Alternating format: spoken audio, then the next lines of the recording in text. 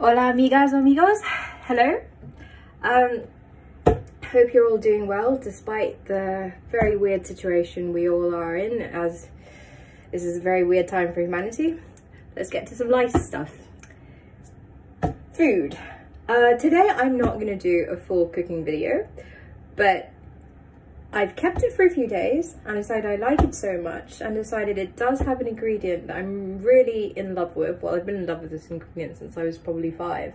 So um, I want to introduce this dish to you. So, what is this dish? It's a soup. It's called Aom. Now, according to my mum yet again, uh, I haven't, you know, gone with the completely correct recipe because I've added garlic which she says is not necessary. And uh, I don't have the, I didn't put in the holy basil or another form of basil, which I'm sure would make this soup pretty pimped. But let me tell you more about the Aom. The Aom is a soup. Uh, it can have more meat than vegetables or it can have more vegetables than meat depending on what you want. It's very versatile and it's from the northeastern part of Thailand, Isaan. But I think we can get similar um, similar versions in good old Cambodia, I think in Laos as well, because there is one key ingredient that uh, we all love and share, we, we all have in common in these three countries. I don't think Burma has it, but anyway, so this soup is basically like a like a nice mix of vegetables again. Uh, you can have your standard set of vegetables. Popular vegetables that go in the Aom include pumpkin to make it nice and chunky. Um, I think any kind of greens. So if you're not in Southeast Asia or Asia, I would recommend you go with kale. But you know, if you have access to China some, somehow, um, bok choy, Chye sim, even kailan can be put in this uh, just to add the greens into this. Um, my version today, I've added oh, my favourite veggies for this soup. Um, I love okra, so put lots of okras in. I had the opportunity to get uh, a very interesting plant, um, the vegetable fern, which is actually a fern and not a vegetable.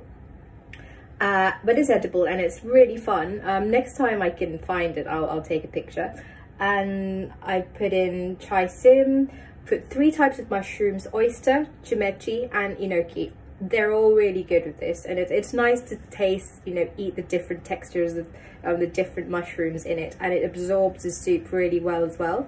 Um, for meat, I used uh, pork belly, same pack that I used with other stuff. Um, waste not, what not, as my boyfriend's dad likes to say.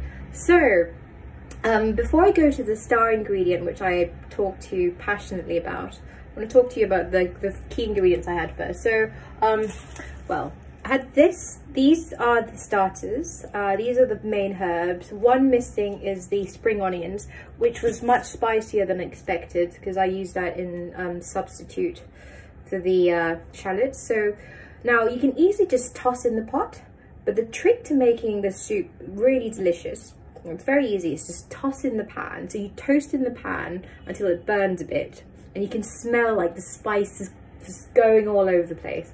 And it's just this heat and this lovely smell of herbs, this infusion, and the lemongrass is also is a very welcome smell in my opinion. So you do that until they're all burned and then you add the meat in to get the meat flavor out, just as a base to keep everything started.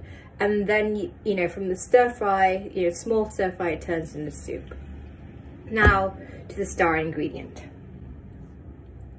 So the star ingredient of this is the one and only and the very special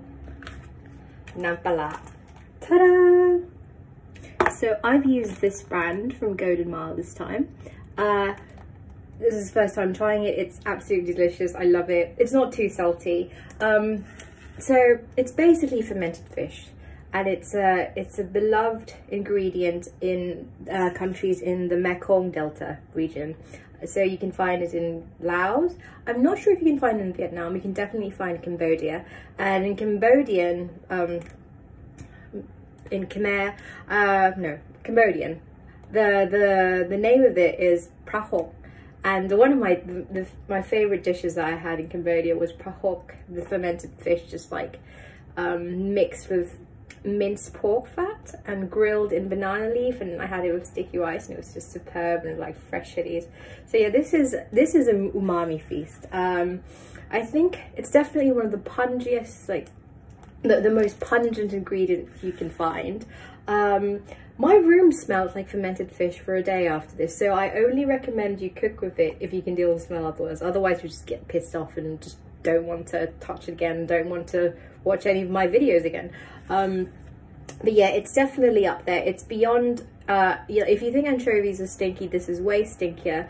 Uh, the, the one difference between this and other kind of fermented fish is, you know, they use toasted they use rice to, to help ferment this so it has that smell of fermented rice as well which is what makes it so lovely um, it's great with som tam it's great with soups um, it's great with stir-fried noodles if you want to have like a you know a, a, a exotic version of stir-fried noodle try this not too much uh, too much can be overwhelming um, yeah, so I mean, I've read somewhere that you know this is related somehow to sushi because sushi actually started as a way. Um, I think the the more the earlier forms of sushi was the um, uh, the the pickled saba, the uh, the saba on rice, which is a pickle version of it. So um, and so it was actually a way to preserve fish. So First they used rice to preserve it and then they decided the fish was edible and the rice was edible and then they made it into sushi. And uh, some, some people say that sushi started from Southeast Asia, but um, this is not a history channel, so don't take my word on it.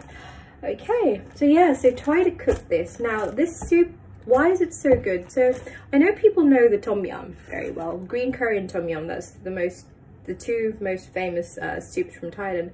But this one is is uh, it's really good. It's comforting. Um, if you make it mild enough, you can just have it on its own. Uh, and the reason I wanted to, to recommend this is because, like, I mean, you know, vegetables, you think of stir fry. You don't think of soup that often, like this minestrone. So I just wanted to, you know, uh, introduce this alternative soup, and it, it's perfect for, you know, because when sometimes when it's winter or when it's still a cold spring or when it's a chilly autumn or you know when it's that time of the month for the ladies out there you feel like something nice and homey and I think this is a perfect dish. And uh, if you're not doing low carb just putting in some rice is really nice as well. Well eating it with rice is really nice. So yeah um, meats what meats would you use? Pork. Some people like the um, the pork bone uh, fish grilled fish can do work well as well chicken I think I, I actually really like chicken in this beef is okay. Beef, I, I think, is unnecessarily pungent. Um, you know, I think I'd, I'd let the I'd let the herbs and the fermented fish and the veggies uh, take the show, um, take the spotlight in this one. Okay, so yes, I hope you get the chance to try this. If you have a good extractor fan, otherwise it's really stinky. My room, my laptop, my bed sheets, like every, my books were smelling like it, but um, I've opened the window for two days in a row now and it's all better. So yes, try it, the Aom with the plara or fermented fish. Have a lovely evening.